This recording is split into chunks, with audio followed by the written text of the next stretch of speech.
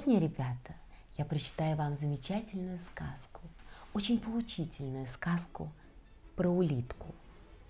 А написал ее Александр Бродский.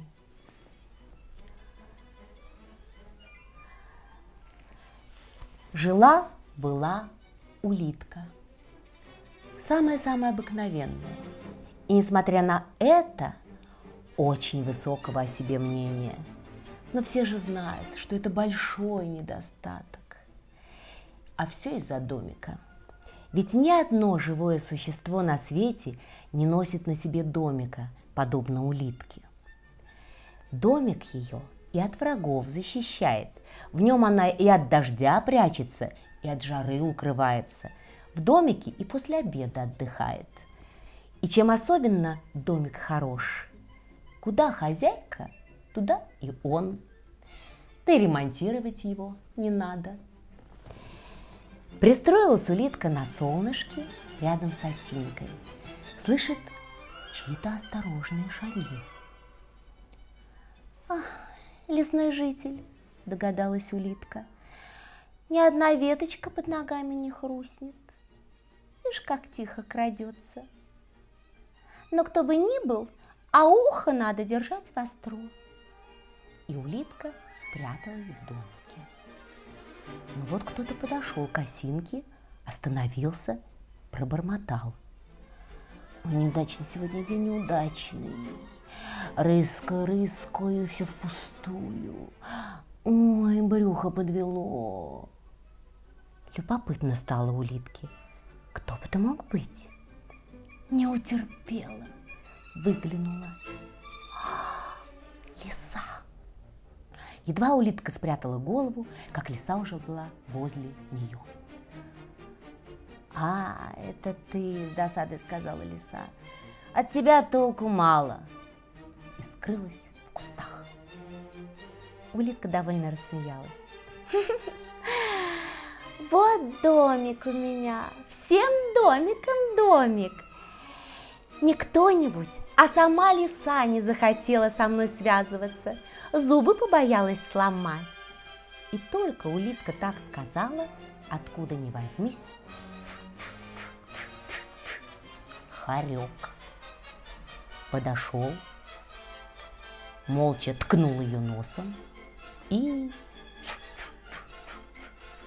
ушел прочь. Довольно греться на солнце, решила улитка. Пора и за дело приниматься. И поползла по лесной тропинке. Не успела она перевалить через засохшую травинку, как навстречу барсук. Обнюхал ее со всех сторон, языком лизнул и даже лапой придавил. А улитки хоть бы что, сидит в домике и посмеивается. Нет, нет, совсем-то не то, что нужно, недовольно хрюкнул барсук. Будь ты земляника или гриб, ну на худой конец червяк, тогда другое дело. А так еда не по мне. Глянула улитка вслед барсуку и захихикала. Ну и хитрец, с домиком селенок совладать не хватает. Так сам себе оправдание придумал, что еда не по нем. Ползла улитка, ползла, видит, дороги дальше нет. Впереди обрыв, а внизу река. Заползла улитка на веточку ивника, греется на солнышке и напевает. Если кто-то некрасивый, пусть не расстраивается, а вырастит себе домик. Домик украсит любого. В лесу нет коровы, в лесу есть улитка, красивая, милая, с домиком улитка. И хотя песенка была не очень складная, а улитке она понравилась. Подул ветерок, колыхнул веточку, но улитка не испугалась. Знай себе качается и свою песенку напевает. Да так увлеклась, что не удержалась и свалилась в воду. Тут на ее беду приплывала мимо щука. Раз!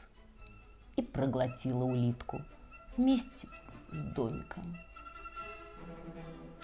Вот и вся сказка.